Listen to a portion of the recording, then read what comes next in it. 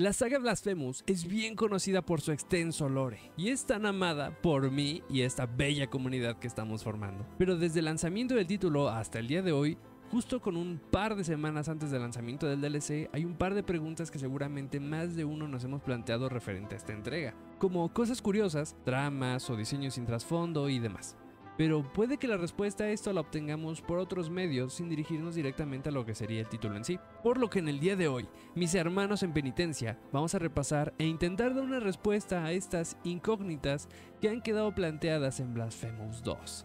Porque misteriosos son los caminos del milagro. Empezando con la cronología del letargo. El alzamiento del penitente ante una nueva tarea es algo que nos emocionó a muchos, pero que aún así este levantamiento solo deja un par de preguntas que se generan entre sí. Sabemos desde el primer título que se le encomiendan al penitente dos misiones. Primeramente, por el milagro mismo, ser aquel que define la religión como la conocemos, una penitencia opuesta a la de Crisanta, siendo esto lo que los lleva a su confrontación antes del final del título.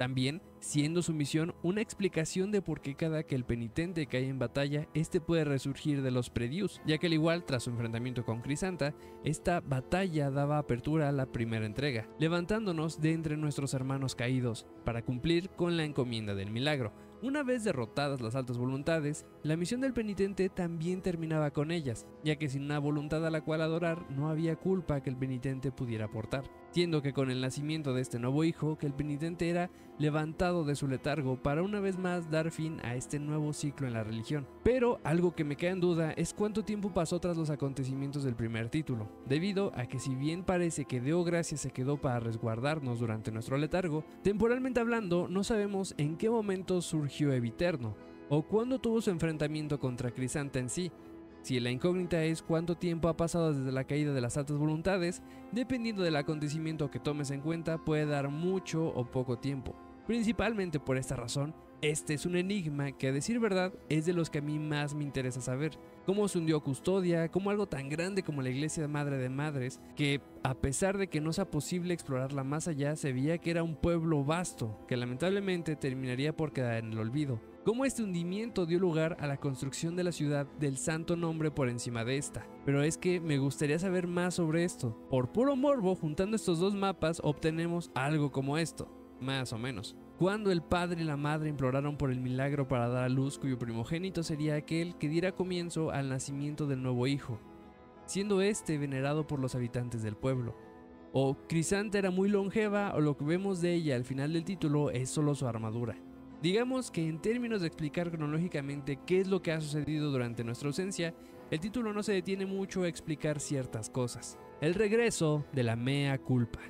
La espada culpable nace del arrepentimiento de una mujer, mientras golpeaba su pecho con una figura del retorcido, mientras rezaba para aliviar su culpa, terminando por convertirse en la espada culpable.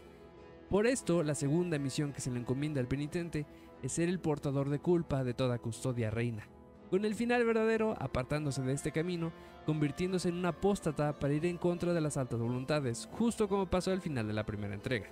Siendo esta la razón por la cual al final del primer título, esta termina por destruirse justo en las manos del penitente. ¿Por qué regresa? Es una cosa que aún no tengo bastante clara, ya que de por sí el juego base no daba algún indicio de que esto fuera posible, pero esperando que no solamente la agreguen por vender.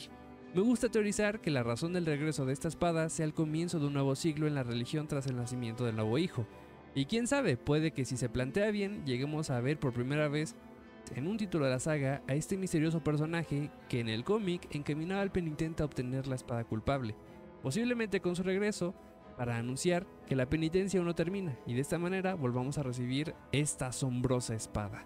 En algún segmento del juego anterior o en una de las nuevas zonas que agreguen posteriormente, y por último, si me lo preguntan a mí, me gustaría y creo que sería bastante lógico que esta espada se encuentre en alguna parte próxima a la iglesia Madre de Madres para dar algo de sentido en donde terminó la batalla tras enfrentarnos a las altas voluntades, en su caso correspondiente, cerca de donde el penitente se levantó de su letargo. Deo gracias, el penitente en la sapiencia. Destinado a dirigir a otros a su propio destino, no hay nada que sepamos con respecto a lo que aconteció a Deo gracias, aunque también es verdad que solo podemos encontrarlo en dos lugares del juego, siendo primeramente el lugar de nuestro letargo, protegiendo nuestra tumba hasta que el milagro volviera a llamarnos. y más adelante en las ruinas en las que anteriormente eran la iglesia Madre de Madres, donde su voz aún recorre los pasillos por los cuales brotaban las raíces del árbol. Pero saber por qué realmente permaneció hasta el fin de sus días protegiendo al penitente y nuevamente el tiempo que pasó haciéndolo es una incógnita con la cual yo creo que nos vamos a quedar indefinidamente. El brazo de madera del penitente. Una de las grandes revelaciones fue el brazo de madera del penitente, un rediseño poderoso que permitía agregar muchas finalizaciones a esta secuela, que finalmente pues no fue así, pero se convirtió en un elemento bastante diferenciador entre las dos apariencias que el penitente tiene entre los dos títulos. Su origen, a pesar de que no se explica a detalle, este siento que se debe al crecimiento de la espina que le otorgó Deo gracias al inicio del primer juego. Tomad esta espina y colocadla en el pomo de vuestra espada. Sí, Llegado el momento, al apretar el arma fuertemente, notáis que os hiere, os sangra, habiendo crecido, brotando más espinas de ella, retorciéndose por la figura del Padre, esculpida en el pomo.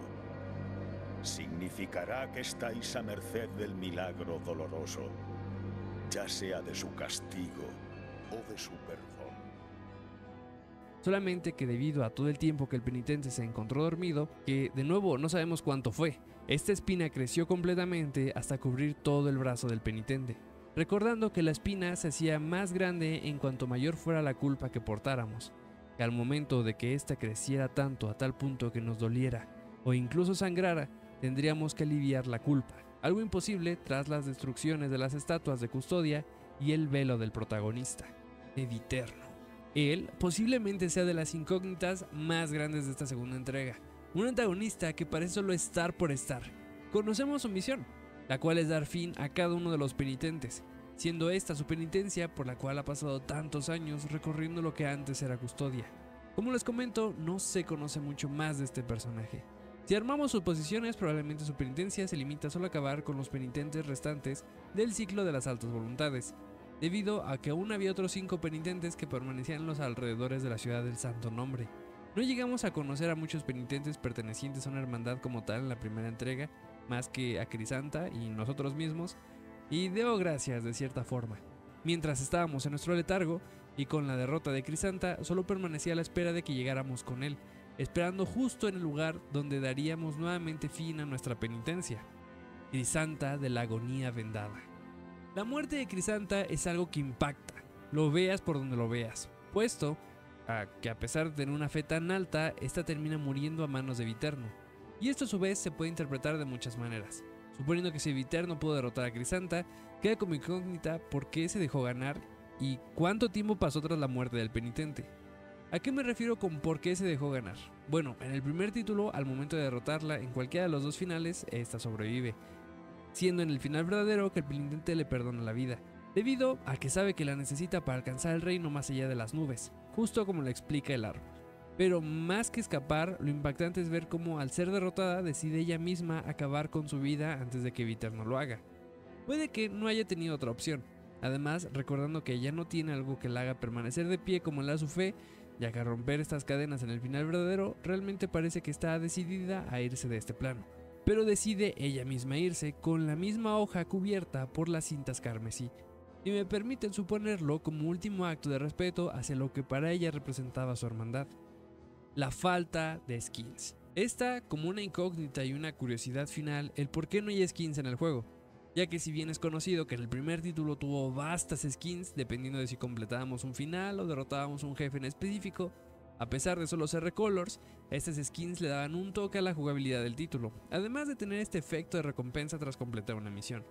Puede ser que la verdad detrás de esto sea que el equipo quería reducir los gastos que podía generar debido a este apartado, ya que hay que pagarles a los diseñadores para hacer este recolor de las skins del personaje, siendo especialmente difícil y tardado en juegos de este estilo, debido a la cantidad de frames que deben ser coloreados para agregar una sola skin al título, pero puede que esto no sea del todo cierto, ya que como se dio a conocer en el libro de arte del título, la idea original era que las skins del penitente cambiaran dependiendo del arma que tuviéramos seleccionada en ese momento, convirtiendo el estilo del penitente más acorde a alguna de las hermandades de las cuales tienen su origen, dándole más sentido a este tiempo invertido en trabajar en cada hermandad, además del arma en diseños, retablos y lore de las mismas. Pero de igual forma sería una tarea con su propio grado de dificultad, y que igual por tiempos de desarrollo o que los mismos trabajadores hayan decidido que esto no encajaría del todo con lo que plantaba la entrega, podría darnos una idea de por qué todos estos conceptos fueron descartados para el resultado final. El DLC está en camino, y como ya lo mencioné en un video pasado, traerá contenido de sobra para animarnos a ir por esa nueva partida más, como nuevas zonas, enemigos, objetos y por supuesto, lore de Blasphemous, que si bien puede que aún saliendo algunas de estas incógnitas queden al aire, tanto del mismo DLC como del juego base, pero ¿qué se le va a hacer? Lo único de lo que estoy seguro es que entre más tiempo le dediquen a seguir construyendo el mundo de Blasphemous, es algo que solamente enriquece la saga, y si salvaguarda la identidad de esta, ya ganamos por goleada. Espero que el video del día de hoy les haya gustado. Ya saben que de ser así, recuerden dejar un muy buen me gusta y compartan con sus amigos, que como siempre ayuda muchísimo a seguir creciendo como comunidad. ¿Qué otras preguntas sin respuesta consideras que dejó Blasphemous 2? ¿O que simplemente quedaron en limbo entre los dos títulos? Déjalo en los comentarios que allí, entre todos, podemos sacar algo interesante. O ya de perdis, chismear un rato. Mis redes sociales las tienen ahora mismo aquí en pantalla como en la descripción por si es que gustan seguirme. Y por último, pero no menos importante, recuerda que si no quieres perderte ninguno de estos videos, suscríbete y activa la campanita, que es gratis. Y sin nada más que decir, nos vemos la próxima y adiós.